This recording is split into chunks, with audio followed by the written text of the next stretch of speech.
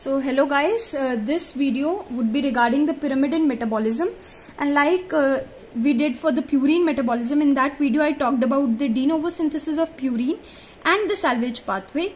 The topic for this video would be um, I'll in this video I'll be generally talking about more specifically about the de novo synthesis of pyrimidine and this pathway is very much similar to the urea cycle. Many enzymes hold similarity. The originally involved in pyrimidine biosynthesis uh, majority of the enzymes these are cytosolic enzymes but there is only one enzyme which is present in the mitochondria and that particular enzyme that is dihydroorotate dehydrogenase and I'll be talking about it in the upcoming um, few minutes. So uh, now this enzyme which is dihydroorotate dehydrogenase the reaction catalyzed by this enzyme would only be present in mitochondria rest it would be cytoplasmic. Now just like we did for the purine uh, synthesis, purine metabolism, there I discussed that which all atoms are derived from uh, which all substrates, the uh, uh atoms in the purine ring. Similarly, I am talking here uh, about the atoms which are derived from different substrates and how to name a pyrimidine ring. So you move in a clockwise direction. For the purine ring, how to name a purine ring you were for the first cycle in the purine ring you were going in an anti-clockwise direction. And for the subsequent uh, cycle for the next cycle of the purine you were going in a clockwise direction. So just to uh, recapitulate that so in the purine synthesis first ring of the purine to name that first ring you start on the nit first nitrogen is present on the left hand side and then you move in an anti-clockwise direction for the first ring and for the second ring you are going in a clockwise direction. But to name a pyrimidine ring on the other hand we are going to start with the nitrogen from the bottom position and then you are moving in a clockwise manner.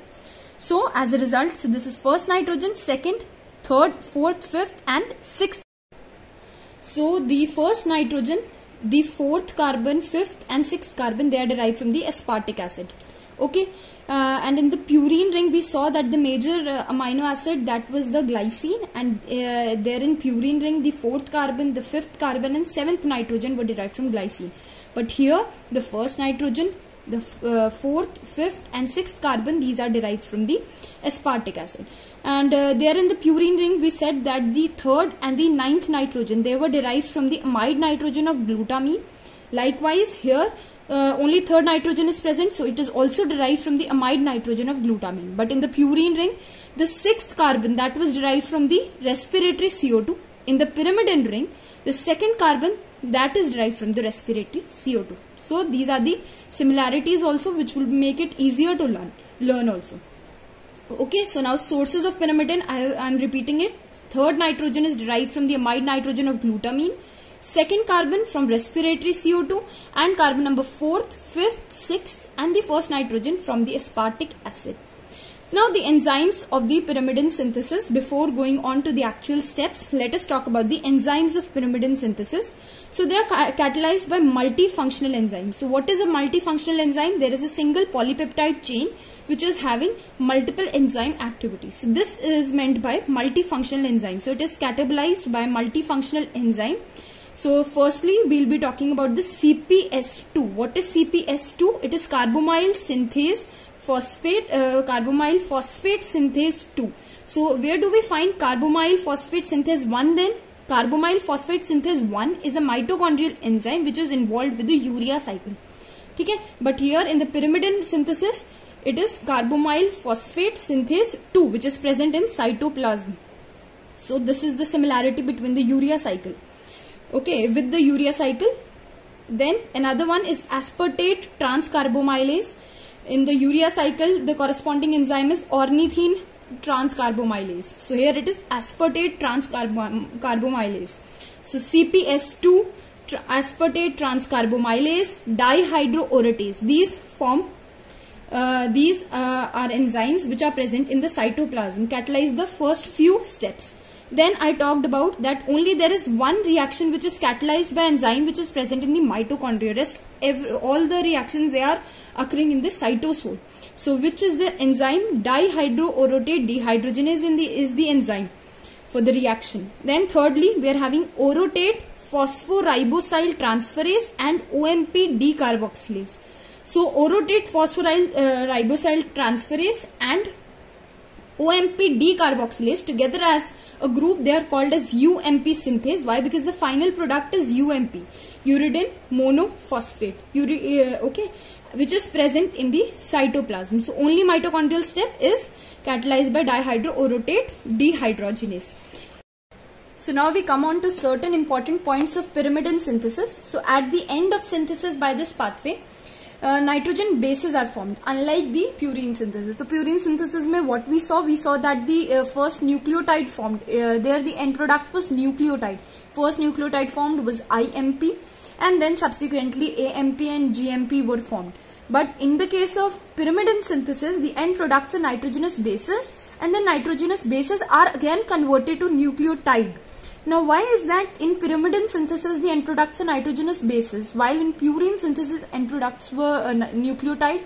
Because in purine synthesis the initial uh, uh, sub, uh, substrate used that was uh, ribose 5 phosphate if you can remember it was acted upon by PRPP synthase and then it converted into PRPP but here the uh, starting uh, substrate that is not ribose. It is not pentose sugar. So as a result, nucleotide cannot be formed at the end.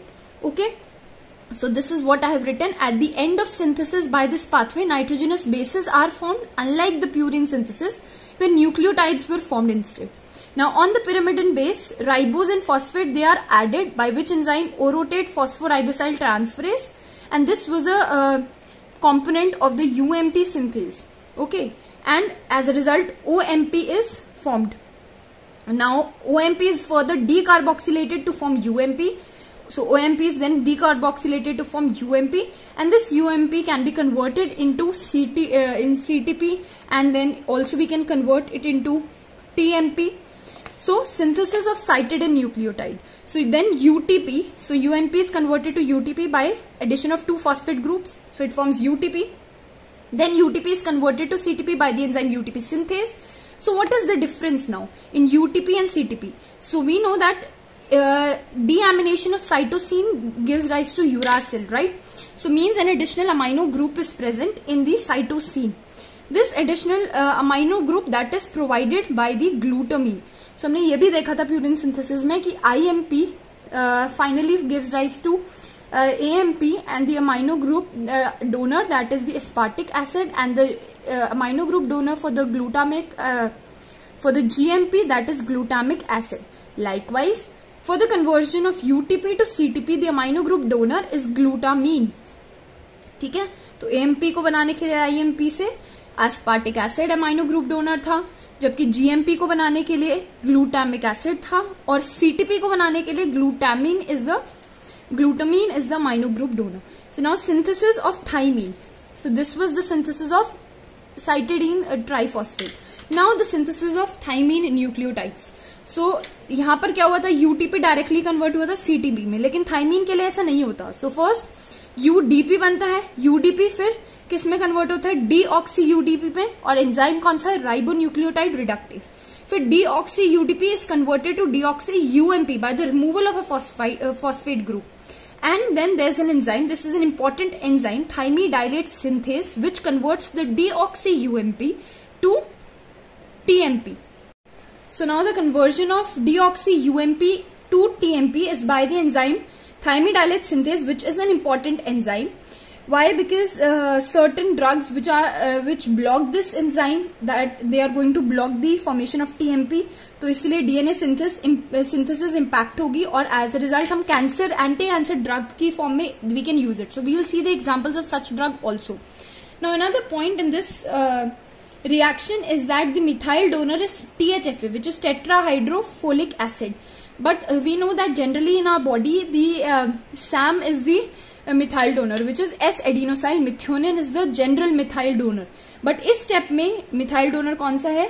T H F A is the methyl donor so methyl donor is N five N ten methylene T H F A is the methyl donor ठीक है? तो this is important again because if T H F A is not present so you might have heard of the drug methotrexate methotrexate क्या करता है? इसकी formation नहीं होने देता as a result this step is impacted again मीथोट्रिक्सेट can be use is in anti cancer drug also So now once we have seen the basic uh, important points, now let us go on to the steps of the pyrimidine uh, de novo biosynthesis. So firstly CO2 aya, glutamine is the nitrogen donor and ATP. They all are going to be catalyzed by the enzyme CPS2 which is carbamyl phosphate synthase 2 present in the cytoplasm and as a result carbamyl phosphate is formed. This carbamyl phosphate will then combine with the aspartic acid by the enzyme aspartate transcarbamylase again a cytoplasmic enzyme into carbamyl phosphatic acid and then finally it would be converted to dihydroorotic acid ठीक है जो भी important point आएगा I be telling you so हमने देखा था जब हमने एंजाइम्स ऑफ़ पिरामिड सिंथेसिस देखे थे तो we club these three enzymes in one okay in one point. So another uh, step is that this dihydroorotic acid is then converted into orotic acid and the enzyme involved is dihydroorotate dehydrogenase. This is an important point. Why? Because this is the only mitochondrial enzyme uh, only mitochondrial step in the pyrimidine synthesis. Now orotic acid is formed. This orotic acid then again would be converted to OMP the enzyme involved orotate phosphoribosyl transferase and OMP is then decarboxylated to form UMP by the enzyme orotidylic acid decarboxylase. Now these two enzymes together they were called as UMP synthase also. Then further on क्या होगा UMP से क्या बनेगा UTP बनेगा or this UTP would be converted into CTP by the enzyme CTP synthase. और amino group donor कौन होगा? Glutamine होगा, या फिर ये यूएमपी यूडीपी में कन्वर्ट हो जाएगा और यूडीपी फिर फर्दर कन्वर्ट होगा डीऑक्सी यूडीपी में। और एंजाइम कौन सा होगा? राइबो राइबोन्यूक्लियोटाइड रिडक्टिस फिर यूडीपी किसमें कन्वर्ट होगा? टीएमपी में। और जो एंजाइम होगा? Thymidylate synthase and in addition the methyl donor would be THFA so this is the overall, these are the overall steps in the pyrimidine biosynthesis now we come on to the important clinical aspects so two anti-cancer drugs which are going to inhibit the synthesis of tmp कौन से हैं वो firstly methotrexate I've already told you this is going to inhibit the dihydrofolate reductase Now this dihydrofolate reductase is going to catalyze the conversion of dihydrofolate to tetrahydrofolate और यही methylene N5 N10 methylene tetrahydrofolate यही क्या था methyl donor था for the conversion of deoxy UDP to deoxy UMP to TMP है ना? यही था। तो एज अ रिज़ल्ट टीएमपी नहीं बनेगा तो DNA synthesis would be impacted another one is five fluoro uracil which is a competitive inhibitor of thymidylate synthase so this was the enzyme catalysing the same reaction and this was the methyl donor methyl group donor